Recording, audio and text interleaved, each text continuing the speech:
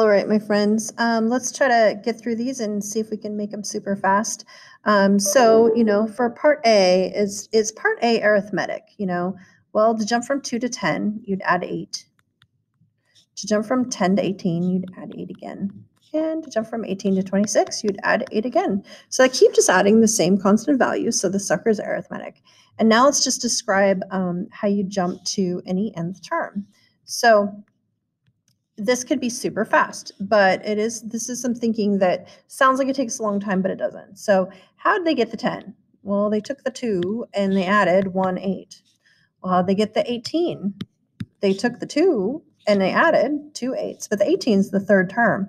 So you're on the third term, but you've added two eights. Fourth term, added three three eights. So how do you get to the nth term? So you just kind of say like, hey, here's the secret. So to get to the nth term, you start with a 2, and you would have added n minus 1 eighths. There you go. I'm not going to bother with what that simplifies to, because I honestly, um, you know, it's easy and I don't care to. There you go. All right, for part B, is part B arithmetic? You know, what are they adding to get from 2 to 1.9? Well, they're adding negative 0.1. And did they do it again? Jump to the third term? Sure, they did. Um, so what's the nth term? Well, one way to write the answer would be to say it started at 2 and you just keep adding a bunch of, you know, negative point ones, which I think I'm just going to call that subtracting point 0.1. And how many point ones would you have subtracted to get to any nth term? Well, n minus one of them. So there you go. And I hope this makes sense on an organic level, not a just because I told you level. Anyway, so hopefully you've taken the time to think it out and that this feels true. Um, now for part C. Um, if part C was arithmetic, we'd be looking for what they added. And from 5 to 10, they would have added 5. But want want from 10 to 20, they would have added 10. And right there, that means part C is super duper not arithmetic, and we are best to not treat it like it is.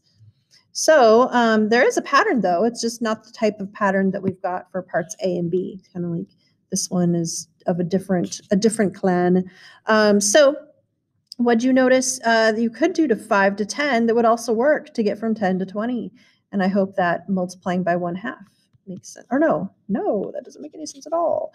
Uh, multiplying by 2 makes sense though. Anyway, so they just keep multiplying by 2. So this one's kind of fun. Um, so uh, part C has a pattern, um, but it's just, uh, you know, different from A and B. So let's see maybe I'll go back to the t-table. So this is the number of term you're on. Um, and then this is how you could get there. So um, let's see, first term, well, that's just five. Um, and then to get to the second term, which is 10, what did you do to the five to get there? Well, you took the five and you multiplied it by two, right? To get to the third term, which is 20, how'd you get there? Well, you took, you could think of it as taking the previous term, which is five times two and multiplying it by two. Or you could think of it as taking the first term and multiplying it by two times two, which by the way, is like five times two squared.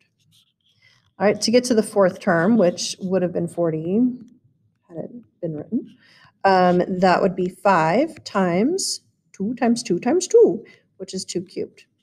Um, so I'm going to go back and put some extra stuff that um, really kind of shows that the pattern that we figured out actually works. So um, to get to any nth term, um, how do you get there? Um, we'll look at the pattern, look at, you know, look at the, the kind of the stuff, you know, what's staying the same and what's changing and the part that's changing, how does it compare to n as n changes? So the pattern would be take five, multiply it by two, um, n minus one times. There you go. So a, we would say a sub n is equal to 5 times 2 to the n minus 1, and that is the pattern for part C.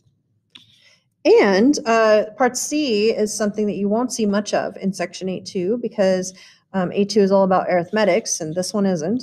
Um, as a matter of fact, you may have learned previously that multiplying by the same constant value every time, that is a geometric um, sequence. And that's what section 8.3 will be about anyway, I just wanted to throw it in there to kind of caution you against, um, you know, to make sure that you recognize what type of sequence you have before you um, start forcing a certain type of formula or pattern on it. So there you go.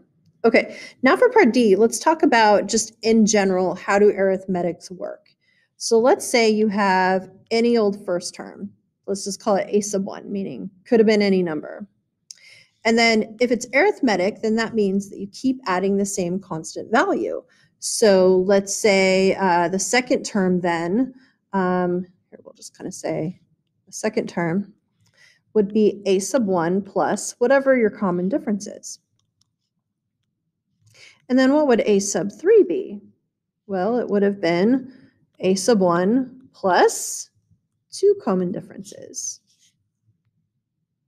And what would a sub 4 be? Oops, I'm writing this on the wrong spot. Sorry, guys.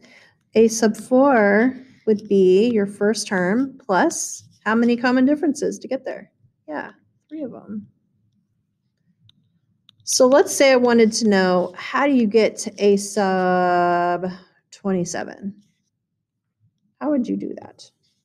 Well, you'd take your first term and you'd add how many common differences to get to the 27th term? Well, you added three of them to get to the fourth term and two of them to get to the third term. So you would have added 26 of them to get to the 27th term.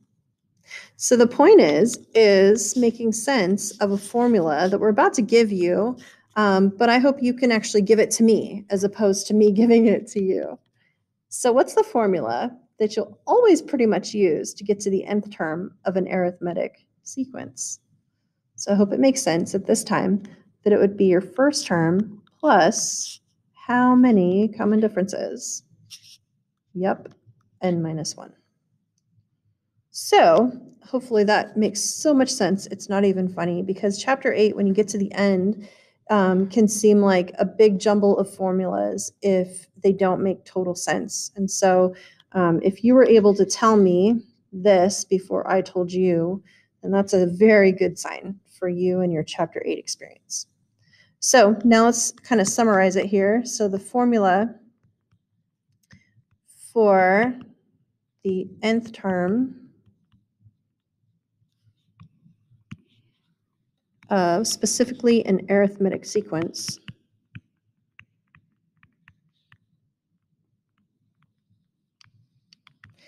is a sub n is equal to your first term plus n minus 1 of whatever your common difference is. There we go.